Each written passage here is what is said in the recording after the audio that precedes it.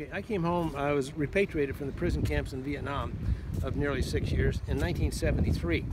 Um, I wanted to continue to fly airplanes, I wanted to continue to fly uh, in the military, which I did, as well as civilian airplanes.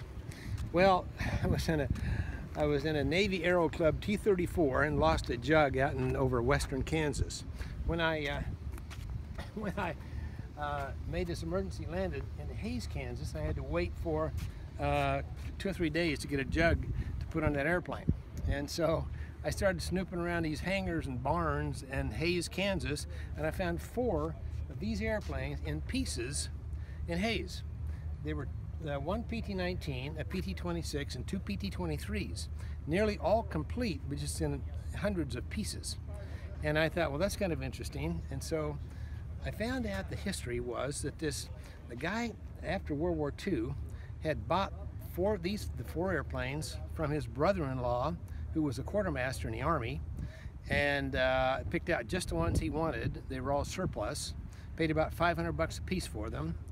Eh, but he also bought a P-51, which was his downfall because he crashed and died in that. His widow, his widow didn't want anything to do with airplanes anymore, and so they sat in that barn in Hays, Kansas for uh, 1946 and 1973 uh, uh, uh and, and just collected dust, all right? It's pretty dry out there, so not too much rust. -huh. And uh, so, so I went knocked on the widow's door and said, uh, like to take those off your hands. She said, what do you give me for it? I said, $2,400. I bought four of these airplanes for $2,400. I spent the next 17 years and $50,000 flying this airplane. wow. So, and, and another one, my brother and I actually built two up from the four and then uh, cannibalized the rest and traded parts and that kind of thing. So, but uh, that's pretty much the history of this airplane. I'm the second civilian owner of this airplane.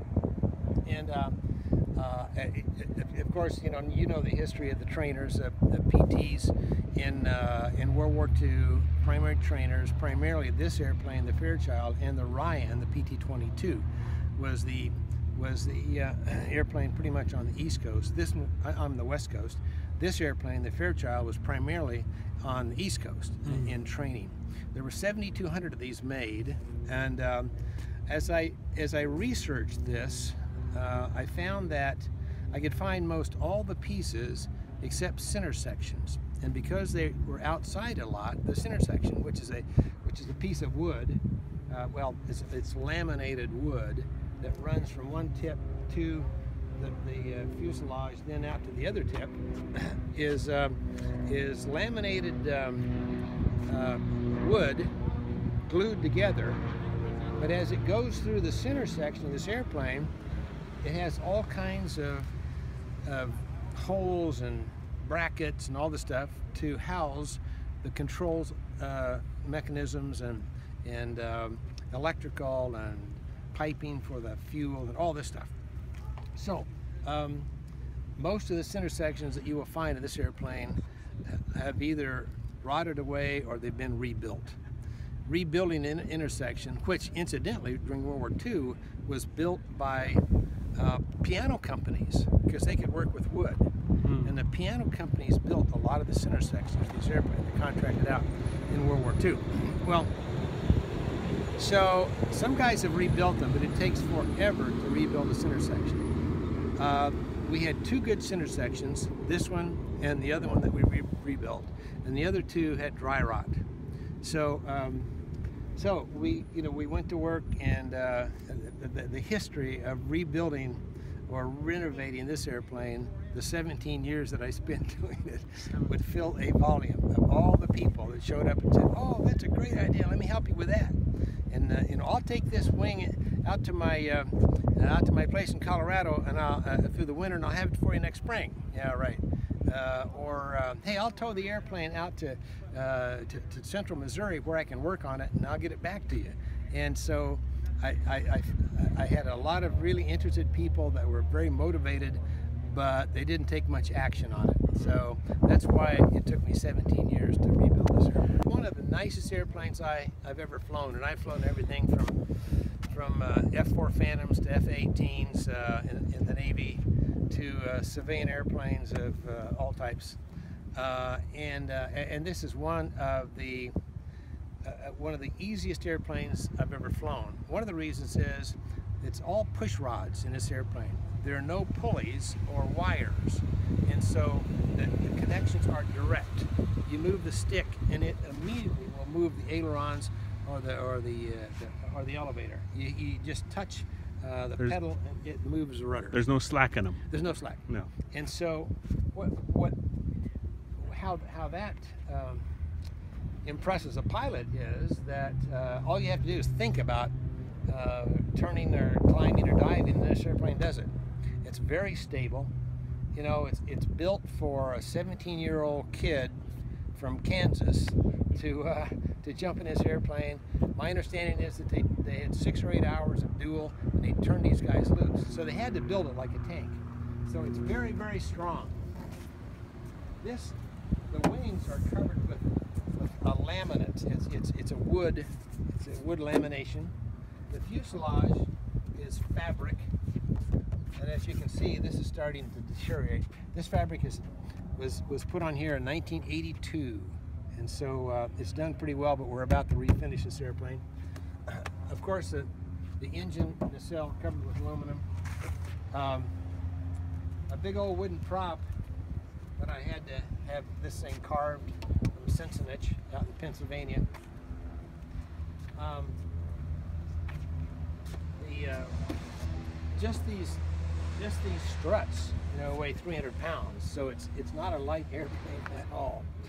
Um, big tires. This oleo comes down about oh I've forgotten a, a foot or 18 inches, so that when you touch down, it compresses the oleo and and gives you a very soft landing. You know the the old adage is uh, a good pilot brings an airplane down and lands it, and the passenger says, "Have we landed yet?" That's a good landing That's a good landing. and very difficult to do in most airplanes. This one will do it. Oh, it's a, it's a great old airplane. And um, so I, I I I moved from from Kansas here back here, here to California in uh,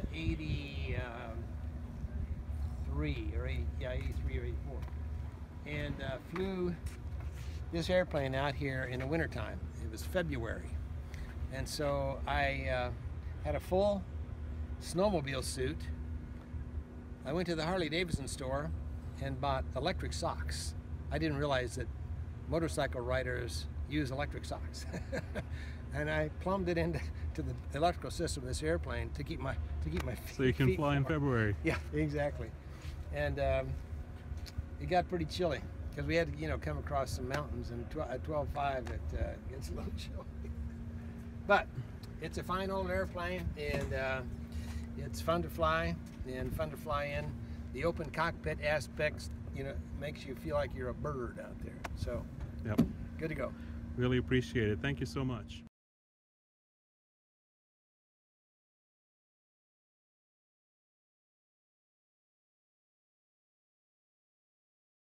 I was uh, I was in the cell next door to another man, and we learned to communicate by tapping on the wall in a code that we devised, where various numbers would represent different letters of the alphabet or abbreviations.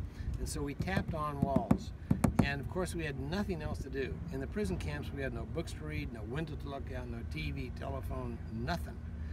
And so our entertainment was to secretly, because they wouldn't let us talk to each other, secretly tap on the wall uh, to, uh, to to the prisoners next door. Uh, if you got if, if you if you got caught doing that, you were in real deep trouble. And uh, so, but we were very careful not to get caught. But one of the guys next to me, and, and one of the things that we did, you know, after we ran out of telling everybody about it, and all the girls we dated, and all the movies we'd seen, um, we started talking about hobbies and interests. And so I would tell this guy about my sailing experiences and my Navy experience. He was an Air Force guy. And uh, he tapped back to me. He said, I got this old antique airplane. It's a primary trailer, trainer, World War II, and I want to take you through a flight of this airplane. Well, you can imagine tapping on a wall where Oh wow. Uh, it takes a long time. So it took him about two or three weeks to describe uh, a, a 30 minute flight in his primary trainer, just like this one. And uh, I was fascinated by. Um, I, I, I never really had any, any interest in antique airplanes, in primary trainers. I mean, I was a jet jockey off aircraft carriers. You know, I mean, it, it seemed to me that that that was really a step down to go back to a trainer from World War II. Uh, but, but I was fascinated by the excitement that this guy had of, of flying this airplane, and so um, and and and so that was kind of in the back of my mind when I found these, and I thought, you know, I know a little bit about this stuff, not a whole lot. One of the things, one of the, one of the things he he told me was that after every flight, he'd spend about 30 minutes cleaning the oil off the bottom of his airplane. and so I'm thinking, you know, of course, in the Navy, you just, you know, you, you turn it back to the mechanics and, and write up the gripes, and they, they do all that. But uh,